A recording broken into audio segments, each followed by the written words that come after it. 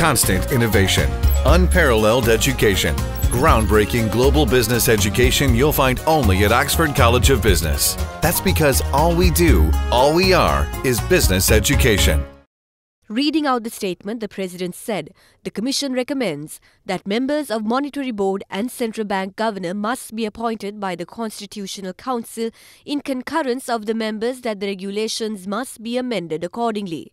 The report also recommends that there should be highest levels of supervision over public debt department. The Commission recommends that the audit department must be reorganized completely as auditing at the central bank has not been conducted in a proper manner. Additionally, it proposes that a legal department must be established within the central bank and ensure that it functions efficiently. The Commission also recommends EPF transactions be looked while taking measures to restructure it. Another recommendation is the introduction of a code of conduct for officials of the central bank, while the code of conduct for primary dealers must be revised and updated. The Commission observes that the confidentiality, astuteness, and auditing methods of the Central Bank of Sri Lanka were extremely weak during the mandate of the Commission.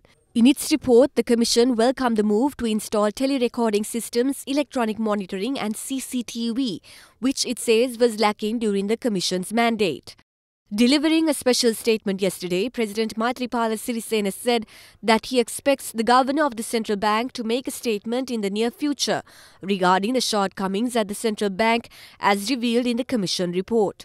The president urged the Ministry of Justice and the Attorney General to take early steps to draft the three bills proposed by the commission and present them to parliament in order to make required changes at the central bank to ensure such corrupt practices frauds and malpractices do not happen in the future.